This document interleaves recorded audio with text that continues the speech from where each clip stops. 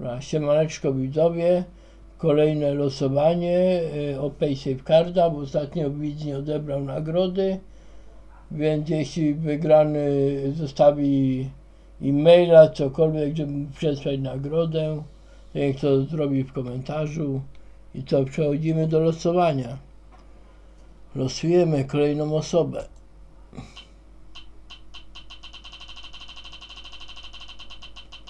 Na kogo wypadnie?